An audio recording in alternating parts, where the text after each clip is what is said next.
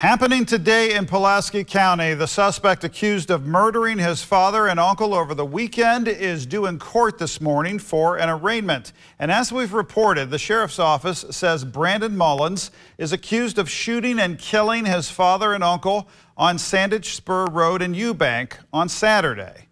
Deputies say he was arrested Sunday. According to court record, his arraignment scheduled for 9 this morning.